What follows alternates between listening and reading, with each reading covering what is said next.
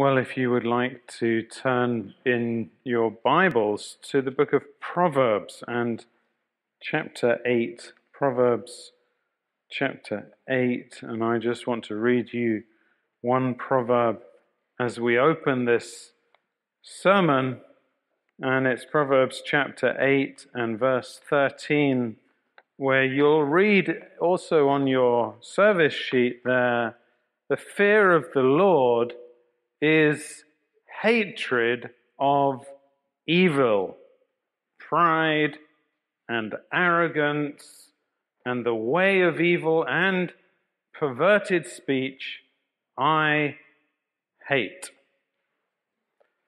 I want to talk to you about hate. And this is part five in a series of short, uh, no, a short series of long messages I got that the wrong way around, didn't I?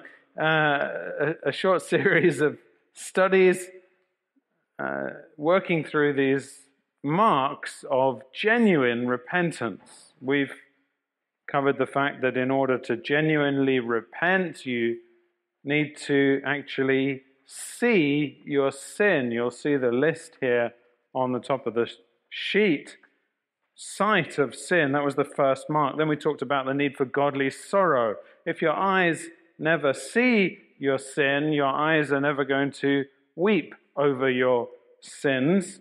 Uh, you must, however, sorrow for sin if you're going to say that you're repenting genuinely before God.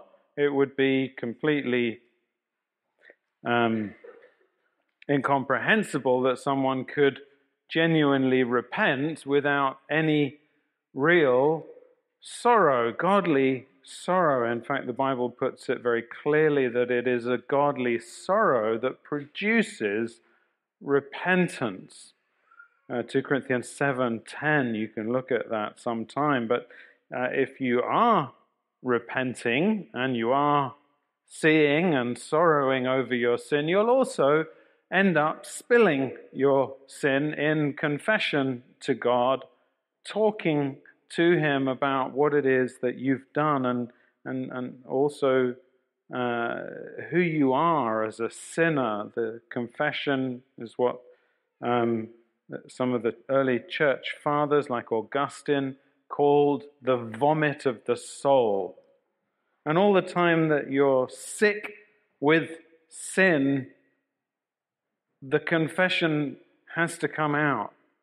Last week we took some time to think, fourthly, about the reality that along with the sight, sorrow, and confession of sin, in any genuine repentance, there is a, a genuine sense of shame for sin.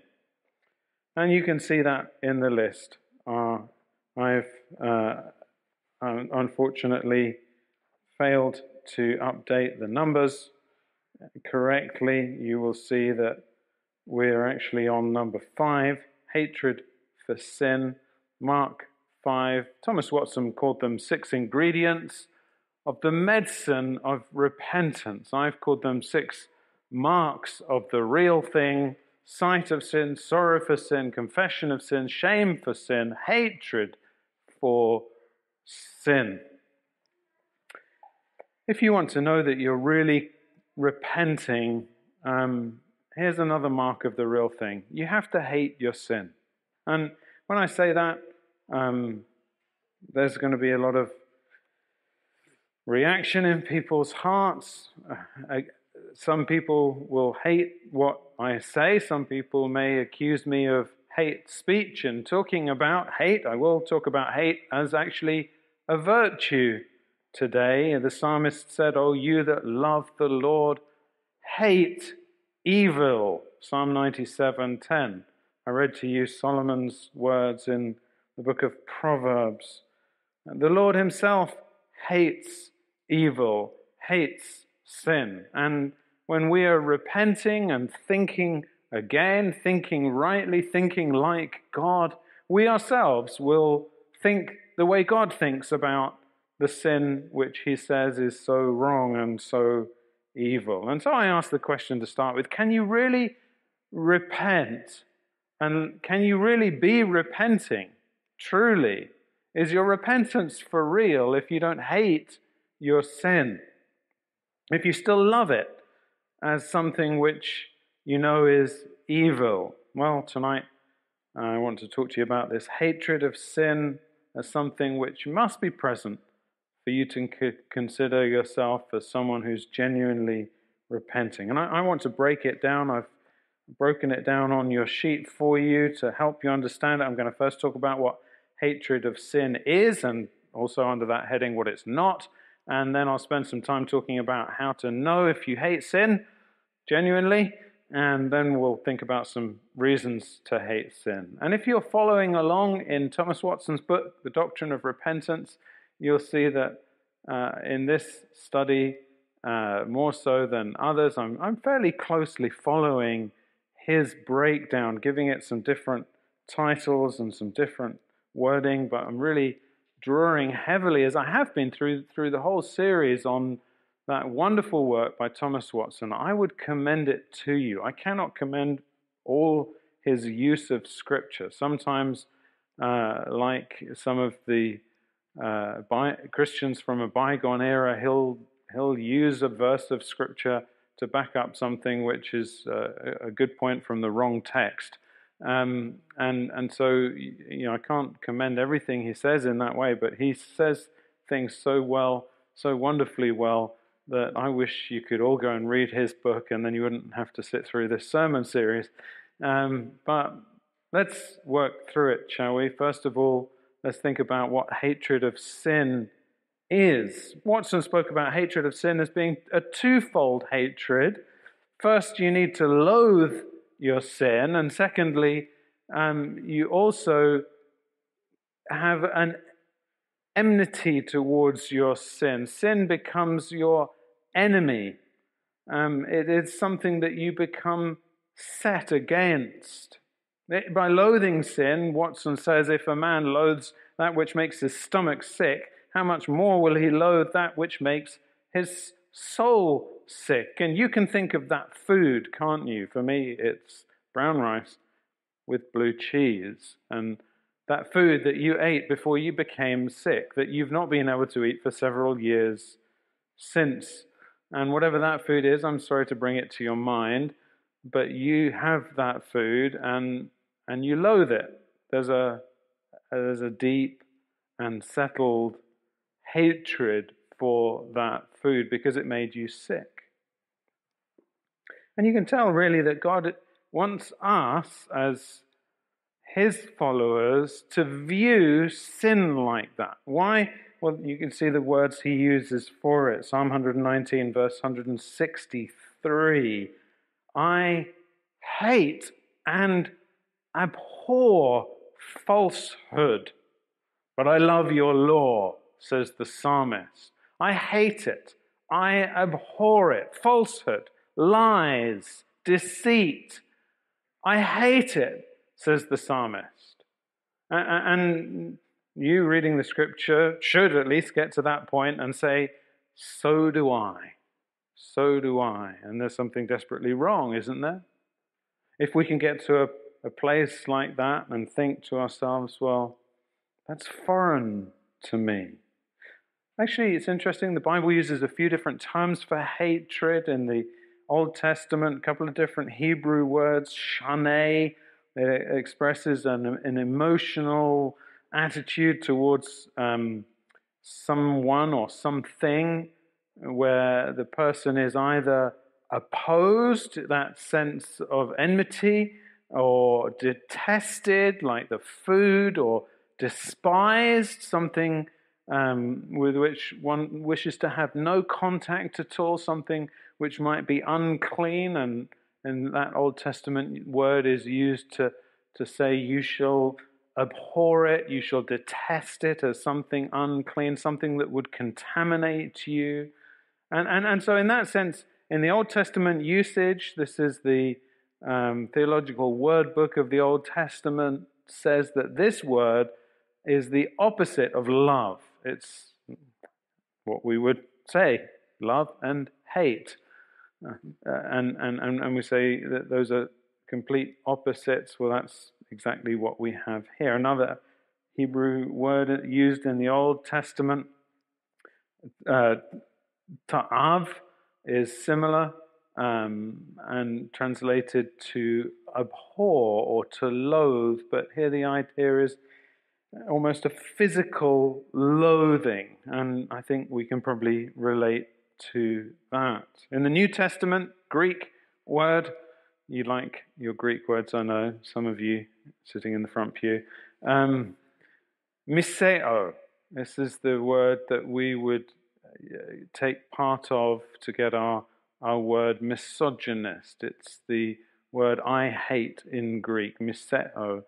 And uh, misogynist is someone who hates a woman. Gune is a woman. So miso and gune, uh, miso and gune, and you've got misogynist, and that's what people do in English when they want to make up a word meaning the hatred of women.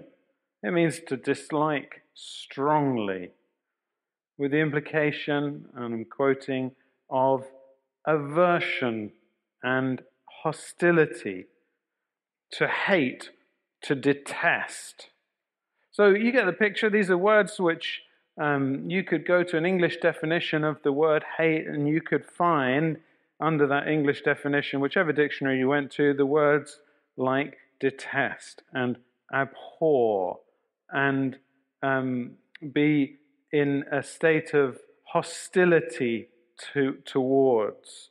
And in all of those terms, the implication is that you will reject what you hate. It's, it's something which is kind of inbuilt. The idea that you would welcome something that you abhor is contradictory.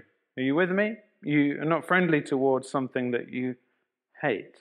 And so I'm going to say that in, in all of this, the direction of this hatred in it, towards sin, the hatred of sin that is being commended here, is primarily inward. It's primarily inward. And, and you get that picture. You go to the New Testament, and, and, and what do you see Jesus saying? Uh, you know, before you try to take the speck out of your neighbor's eye, what are you supposed to do? Take the log out of your own, the beam out of your own. Um, when you when you see that your hand or your eye is leading you into sin, cut it off, throw it away, pluck it out, throw it away. What's it speaking of? A rejection, a hatred, a, a strong dislike for anything that would contaminate you, that would lead you into a sin. And, and I must say, straight up, because someone is going to misquote me, misunderstand what I say, what I'm not talking about here is a hatred toward people. Hate is something that I am talking about as a virtue. I am saying that hatred of sin is a virtue, but we don't normally talk about hate as a virtue. We normally talk about hate as the kind of ultimate um, modern crime. Stop the hate. There's a hashtag if you want to go look on on Twigger, Twitter. Uh, Twigger. I wonder if there is something called Twigger. Maybe we should start a new social media group and call it Twigger. Um, we, we all uh, do recognize, however, that hate is a virtue. Everyone accepts hate as a virtue. We, we're happy when judges hate injustice, normally, unless it's to do with us. We'd be happy for bankers to hate greed. We, we'd love politicians to hate lies. And you'd have no problem at all, most of you ladies, if all the girls in the office hated gossip, especially when it was to do with you. Uh, these are examples of people hating sin. And we say that's a good thing. And we agree it's a virtue. What is not acceptable, and, and this is where we rightly draw the line, is to hate people, to, to have a settled enmity towards an individual, to, to be to be in a position where you're saying, I loathe, detest, abhor that person. Now that's, and you take that a step further and say, to hate someone in a particular group. Uh, hatred of women, misogyny, I mentioned it earlier. There's also misandry, which is the hatred of men, which, at least in my experience, is far more common these days than the opposite.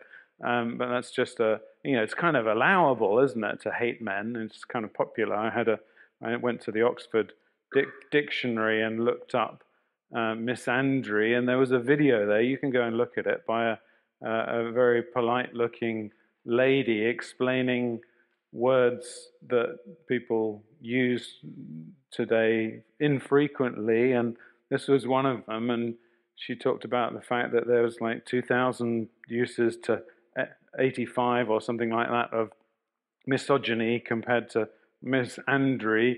And and yet, when she, she, had a little smirk on her face when she said, "Even if it's actually more common," and um, smiled away as if to say, "Aren't we, aren't we okay, ladies, to uh, to hate men?" It is kind of commonly acceptable to hate men, isn't it? But um, racism, another form of hatred against a group, which we would say is rightly considered wrong. It's rightly considered evil to, to, to put someone into a group and say, I'm opposed to you, I detest you, I abhor you, I reject you, I'm hostile towards you, I'm against you, I'm your enemy because you're a part of a group, any particular group. And we could go on with the list of different groups, whatever that may be um, sexism, ageism, uh, gender issues, whatever that is, if you're actually in a state of enmity towards that person because of it, it would be wrong. And we rightly reject that kind of hatred. And I want to just qualify everything I'm going to say by saying, I am not saying that hatred towards individuals is a virtue. And I have to be careful because um, there are people who, when I will say something is a sin, will interpret that as if I am hating them. There are some people who are so identified with their, the philosophy that goes along with their particular cause that if we reject the thinking associated with their cause, they can feel as though we're hating them. They, they feel identified with their thinking so much that they cannot accept disagreement with their philosophy. Feminists who are completely identified with their feminist ideology will maybe interpret you ladies as hating them if you dare to say, actually, no, I believe I disagree. I believe the, what the Bible says that God created them male and female, and, and the, the woman was created as a helper for the man. And what the Bible teaches about the, the headship of the husband in the family unit um, as being uh, indicating complementary roles rather than equal roles. If you dare to raise your head above the parapet in the office and admit to that, there will be some people who will say you're engaging in hatred against women. Um, I've put it forwards as if what some of you ladies might dare to say it. Uh, any of you men feel brave enough to, to say that in the office? Misogyny, they say. You're, you're engaging in hatred, the repression, the oppression of women. Similarly, if there, there will be Muslims who, with their identification with their, their religious belief that Allah is not is the only God and He doesn't have a son, um, and that Muhammad is His prophet.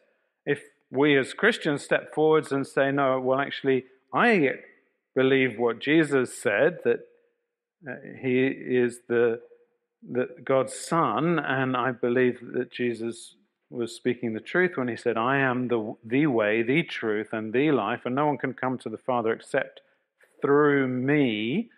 There's salvation in no other name, says the Bible. I believe that you say to your Muslim friend, and Jesus is God's Son, and suddenly you've got a situation where you're coming into direct contradiction with the whole world view. Some people may interpret that as if your disagreement is hatred.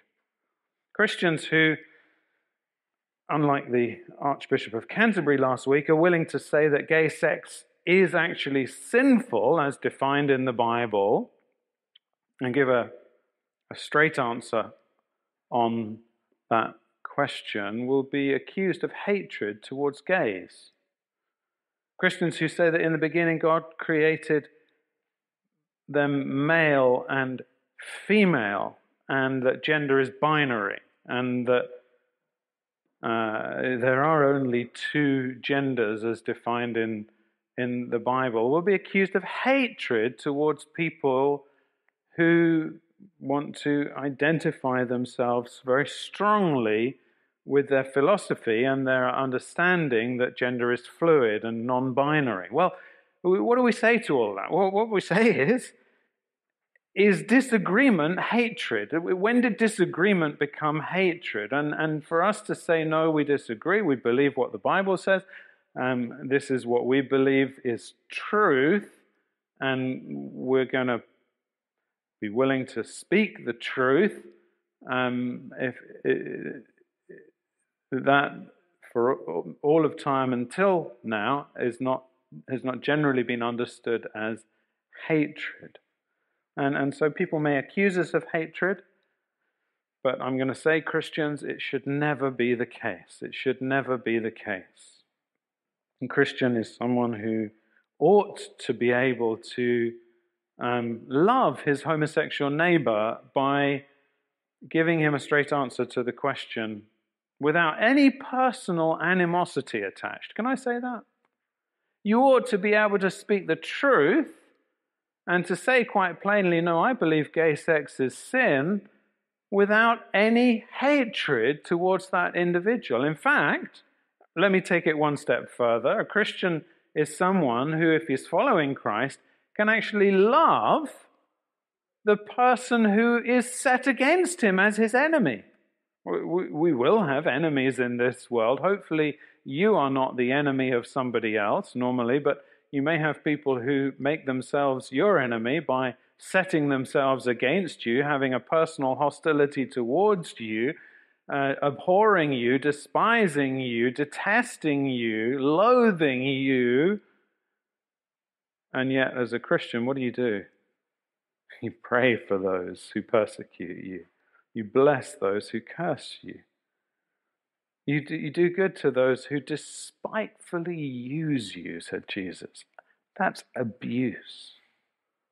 And yet you look for some way to overcome evil with good and treat them with kindness. And, and, and that's, like, that's the way for Christians. So we should be willing to lay down our lives for our homosexual neighbors, colleagues, this should be our, our, our, just our modus operandi. We, we were the enemies of God. We were the people who were set against God, hostile to God, rebels against Him. And yet we've had His forgiveness, His blessing. We abused Him, but He blessed us. And, and, and that enables us to overcome any desire for uh, revenge. We leave vengeance to God even if they are abusing us, um, we, we're commanded just to pray for them as, uh, and pray for our persecutors' forgiveness, as Jesus did. So, can I just clear that up? That this, this business of hatred, of sin, um, even if it's interpreted as personal hatred, should never be so. And we've got, we, we've got the job now to go so far in our willingness to bless those who curse us and to do good to those who abuse us, that nobody can accuse us rightly of hating them. And Jesus taught that the world would know that we're his disciples? How? If we love one another, by our love for one another. The world will know that we are his disciples, not by our hatred for a particular out group, whatever that group may be. So let me put it out there. Westboro Baptist style, God hates, and you fill in the blank, is not the Christian message. And it's not our stance as Christians. But that said, every Christian who comes to truly repent should have a holy, settled enmity, loathing, hatred for sin. Uh, and I'm going to ask the question what would that look like? Where would it be directed? I, will I'll answer it. The sin we're to hate most and first and foremost is in ourselves. And, and so I, I, want to talk to you about this hate, and I'm, um, I'm just going to uh, say that uh, if you, uh, if, if we're going to, if we're going to do this um, as we ought, we will be misunderstood, perhaps. But if we do it first and foremost directed inwards at ourselves and our own sin, um, then we, and, and if our lives are characterized by that forgiving love towards others, then we're less likely to be misconstrued. Now, um, number two, how to know if you hate sin. Do you, do you hate sin? Um, how do you know if you if you really hate sin? I'm sure that every Christian here in the room, when you hear that you should have a holy, settled, and uh, en- enmity and loathing towards sin, um, you're secretly troubled. Are you not? Is every Christian troubled? Because deep inside every one of us, we know that somewhere in our in the recesses of our lives there is an appreciation for some sin. There is secret, hidden love of sin, which, if you're genuinely a Christian and a repentant person, you hate. But how do you know if you do hate sin as a, as a definition? Well, uh, Thomas Watson gives us an awful lot of help there, and I'm going to take you through it in my own words. Um, first of all, you, you can know that you hate sin if your heart is set against sin. And I'm not saying, um, I'm sorry, it, it's not saying I'm intolerant to dairy products, but I just can't stop eating cheese. I love cheese. You know, it's not. It's not saying that. It's it's not saying meat is murder, but I draw the line at bacon. Um, true hatred of sin is like my wife's hatred for goat's cheese, which is unfortunate for a vegetarian if you've ever shopped for vegetarian food. It's all got goat's cheese in these days. But my wife loathes goat's cheese. And as Watson puts it, no matter how the devil makes the dish, if there's sin in it, you detest it. You detest it. You hate it. You loathe it. Why? Because there's sin in it. So, secondly, you know you hate sin if you hate all sin. Not just one or two sins, like the psalmist, uh, but sorry, but like the psalmist who said in Psalm 119, verse 104, I hate every false way every false way. Watson said hypocrites will hate some sins which mar their credit. Isn't that so true? That we can hate certain things that expose us, that humiliate us, that cause us shame or cost us. The gambler can hate his gambling when he's losing. But that a true repentant person will even hate the sins that you gain from, the sins that make you win or that make you look good.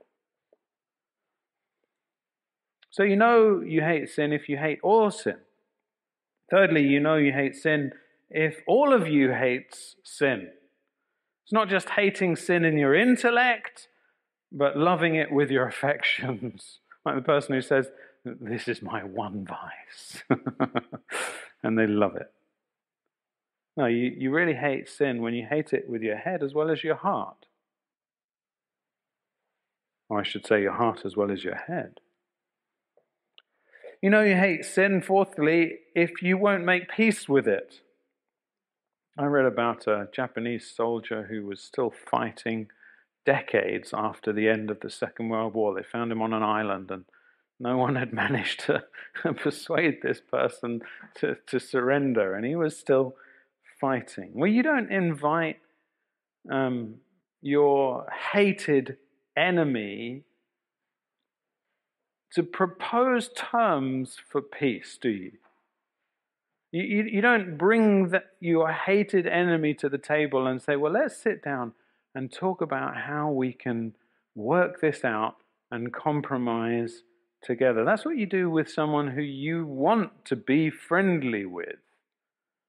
But you hate sin when you will refuse to make peace with it, like the old style Northern Irish Protestants and Catholics who committed themselves to no peace agreement. And then finally they made a peace agreement. But in that stage, when they were utter enemies, hating each other, committed, they said, We're never going to share government with them, ever. And, and that's hatred, isn't it? You know you hate sin when you will refuse to share the government of your life with sin. You're not going to sit down at the negotiating table and say, okay, now about this. Well, we'll make some compromises on, on my side. No, you hate it when you won't make peace with it. Finally, you know you hate sin if you hate it in others also. Now, um, this is where I, I wanted to carefully preface everything earlier by saying I'm not talking about hatred towards other people. I'm not talking about a settled enmity towards them, a hostility towards them as individuals. I'm talking about now here hating sin in them. And, and, let me illustrate that. If you say you hate adultery, but secretly when you're watching a movie and two people are about to commit adultery, you're willing them to get on with it because you want to enjoy the romantic liaison or the physical um, uh, physical encounter that you're about to get to watch. Well, you don't hate it, do you? you? You love it. You just don't want to be involved in it yourself. You're happy for other people to be involved in it. If you say you're, you're, you, you hate sexual immorality of any kind and you say it's wrong, but you take delight in it in others, you, you don't hate it, you love it. You just don't want to have the consequences of it in, in your life. Listen to Thomas Watson. Loving of sin is worse than committing it. A good man may run into a sinful action unawares, but to love sin is desperate. What is it which makes swine love to tumble in the mire? It is love of filth. To love sin shows that the will is in sin and the more of the will there is in a sin, the greater the sin. It's a very scary thing, isn't it?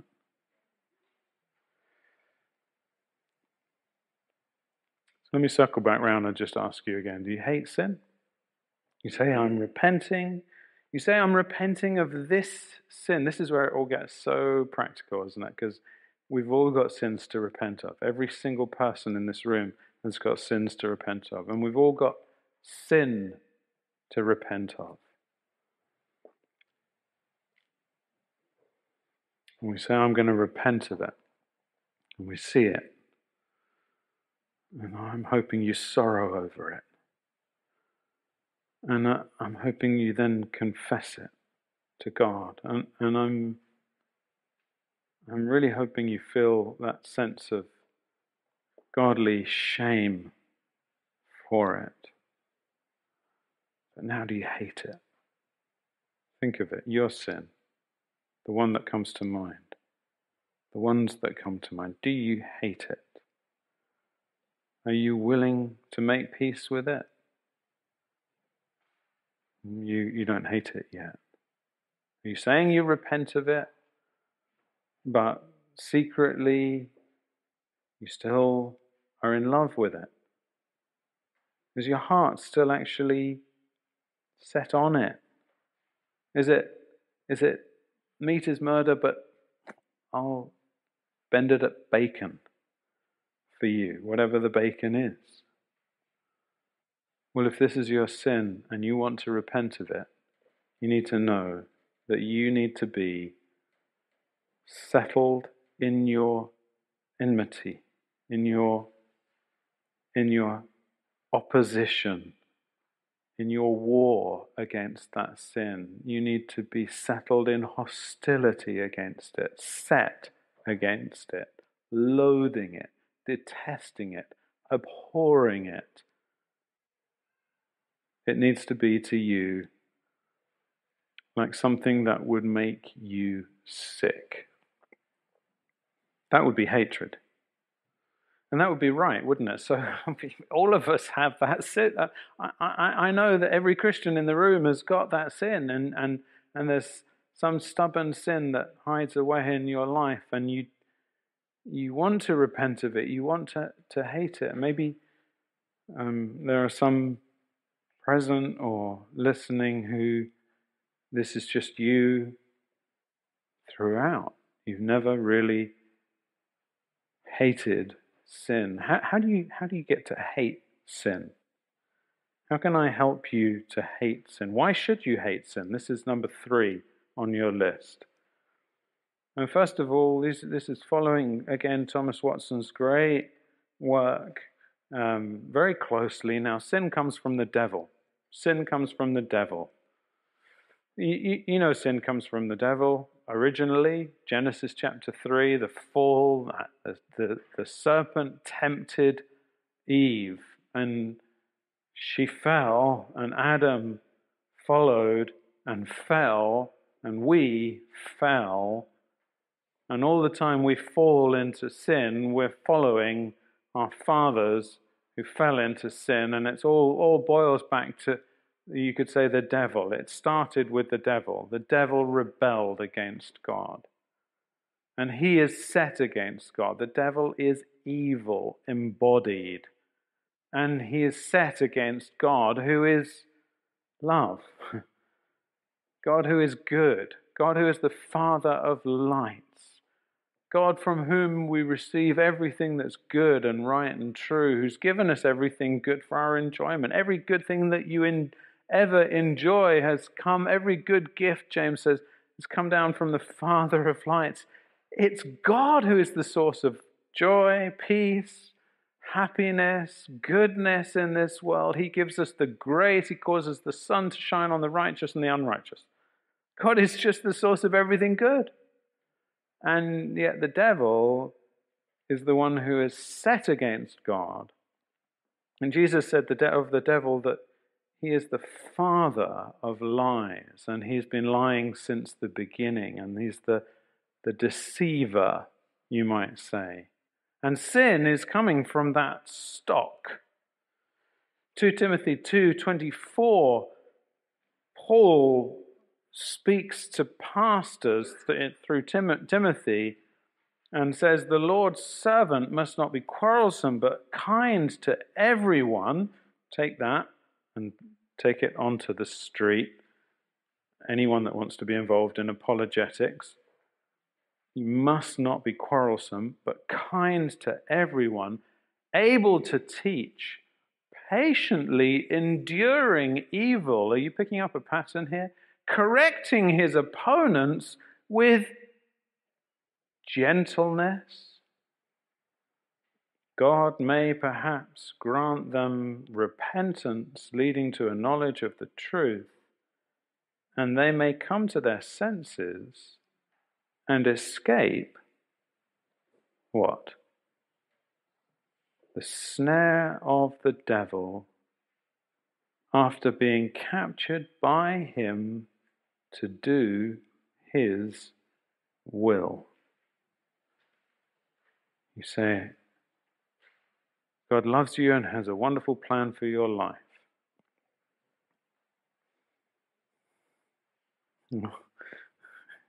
It's kind of true if you're a Christian. Um, the devil hates you and has a terrible plan for your life.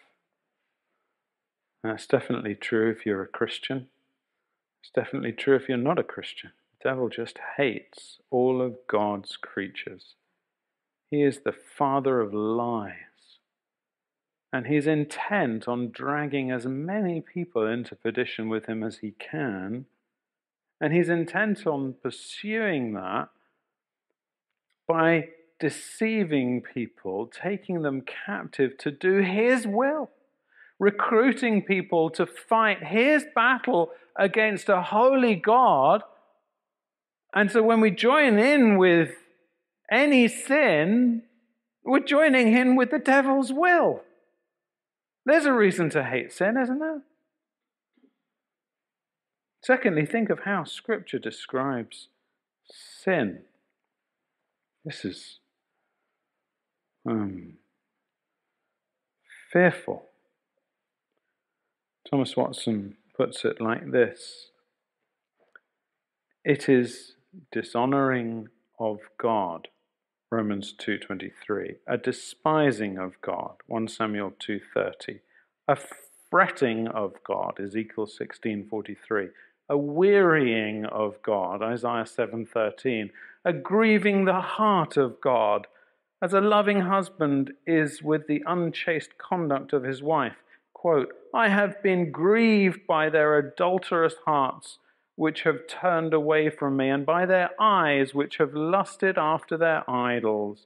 Ezekiel 6 9. See how Scripture describes sin and isn't that a good reason to hate it?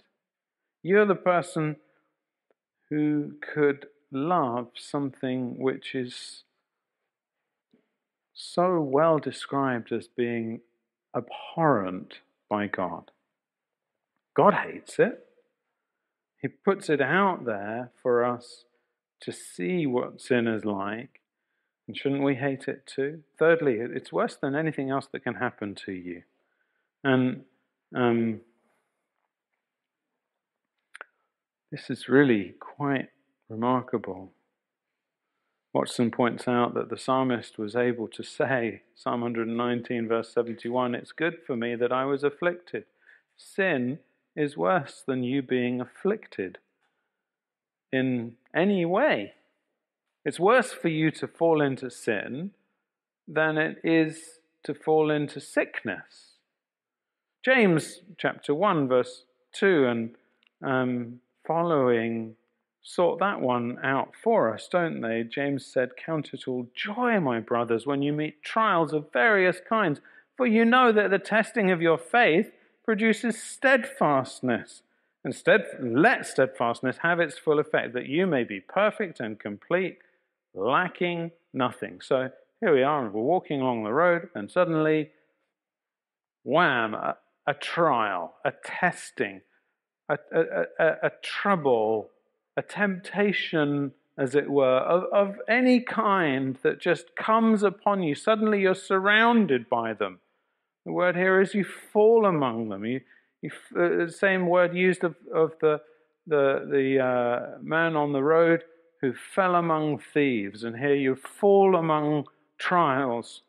You're just suddenly surrounded by trials of any kind.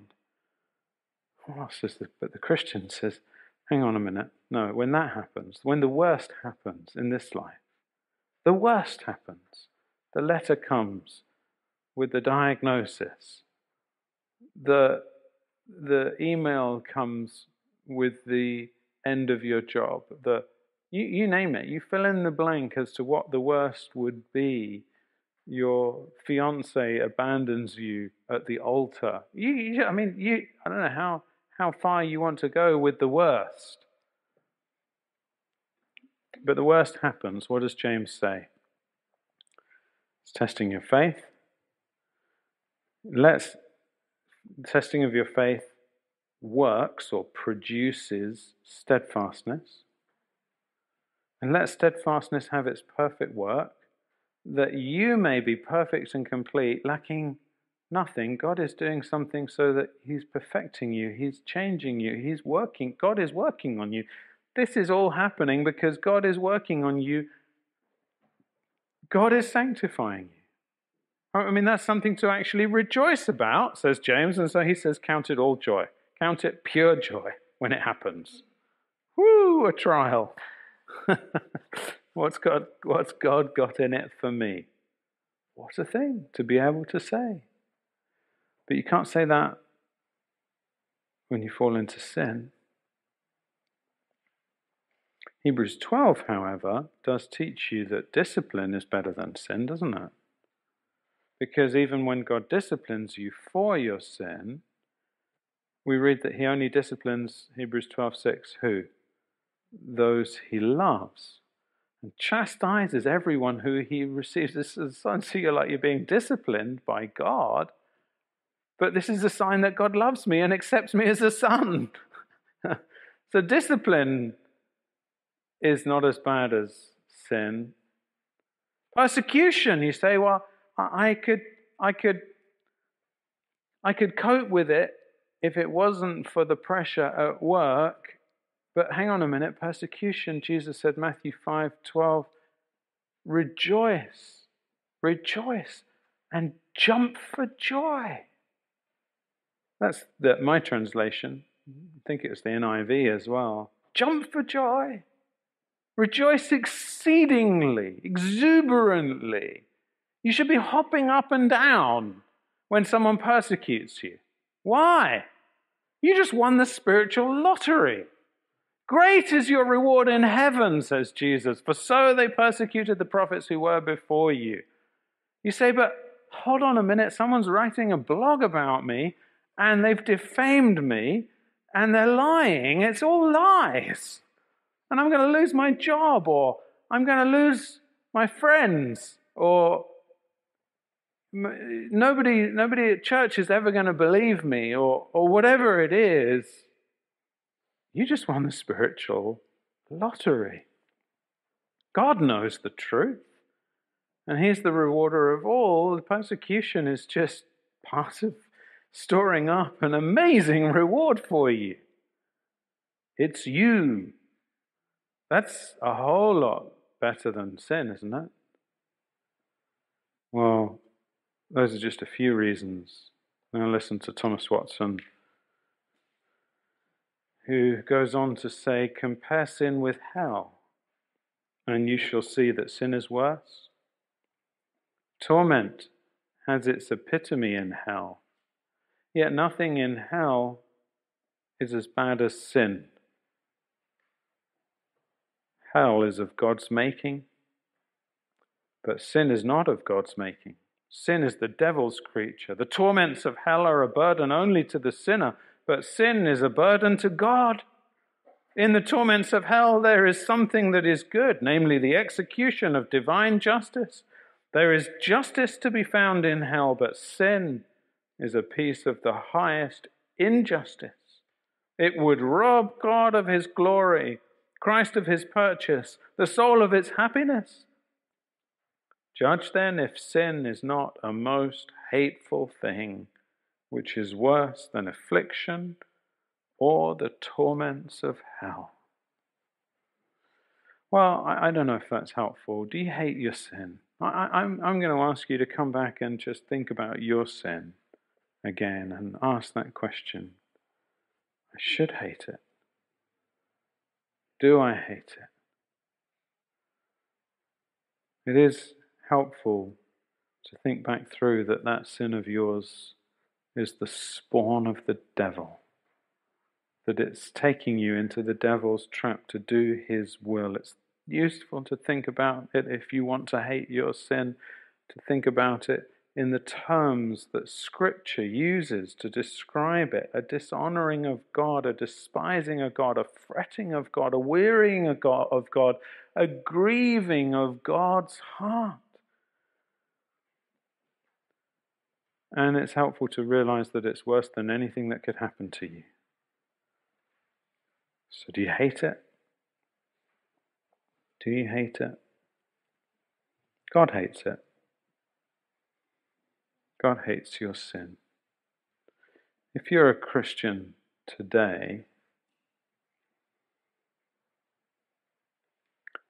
nothing demonstrates to you more the hatred of God for your sin than what happened on the cross. There on the cross, the wrath of God was poured out upon his own Son. It pleased the Lord to crush him and put him to grief. It pleased God to do that. He, on the cross, poured out his holy anger with your sin. And we sing, the Father turned his face away. Oh God, oh Eloi, Eloi, Lama Sabachthani, my God, my God, why have you forsaken me? cried Jesus upon the cross. And darkness covered the earth. And then he died. He had to go to the end because your sin is that bad. So, Christian, can you love your sin? Can you love that sin? And let me ask you if you're not a Christian today, can you see why, if you do not repent of your sin, God must punish you for your sin? It's either Christ takes the punishment for you or you bear the cost yourself, and it's either heaven or hell. And if you insist on having your sin, it will be the thing that takes you to hell to face God's justice. That's enough to make you hate it, isn't it? Todd Friel summarized uh, repentance wonderfully in a tweet. Not all tweets are wrong. Repentance is not perfection. Repentance is the attitude that says, I hate the things that killed the one who died for me. If nothing else does it for you, to think that Jesus died for your sins. And can you love them? Father, we pray that you would make in a, work in us a holy hatred for sin. Deal with us, Lord, to loathe it in ourselves first and foremost. Lord, we pray that we would also um, feel what you feel and not rejoice in that sin in others. Lord, we pray that we would always be like you, like the God who causes the sun to shine on the righteous and the unrighteous, like the God who is patient with us, not wishing that any should perish, but that all should come to repentance. We pray that you would work in us a patient, loving kindness towards even people who would be hateful and set themselves against us. Lord, we pray that you would give us great grace to love them as you have taught us. And even in the church, Lord, when people curse us, enable us to bless them and to love them in return. We ask it for Jesus' sake. Amen.